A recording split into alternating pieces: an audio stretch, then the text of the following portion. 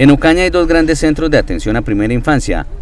Ambos, como en el resto del país, están sin abrir la atención a los niños, quienes junto a las madres que los atienden están pasando una difícil situación. Entre estas también están las mujeres que no tienen quien les cuide sus hijos.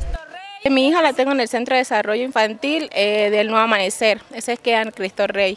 La verdad que estamos aquí en son de protesta, ya que se nos están vulnerando los derechos a nuestros niños, este, los cuales nosotros necesitamos de los cuidados, ya que las profesoras, aparte de cuidarlos, la nutrición y todos los, de, los deberes y los derechos que ellos tienen.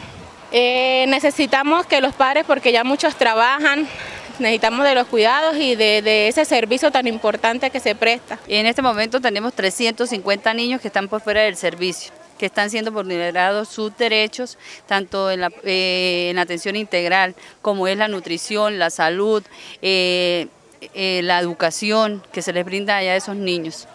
El CDI El Dorado es uno de los centros que más cobertura tiene de barrios con familias que tienen beneficiarios y en condiciones de vulnerabilidad.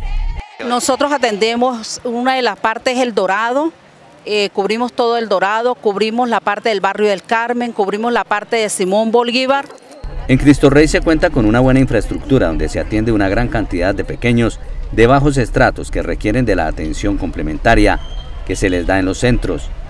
Allá en el CDI de donde yo laboro eh, atendemos 350 niños que son de estrato 1 y 2 que son los niños pues, más vulnerables de, nuestros sectores alrededor, como Cristo Rey, eh, parte de Circunvalar, eh, también parte de Simón Bolívar, eh, bajando aquí por, el, por Ciudadela Deportiva también.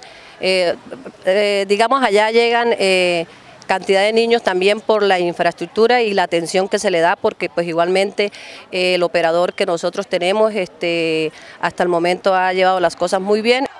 Esta es la segunda jornada de protesta de las madres comunitarias este año, quienes buscan mejores condiciones y la continuidad de la actual entidad operadora de los programas.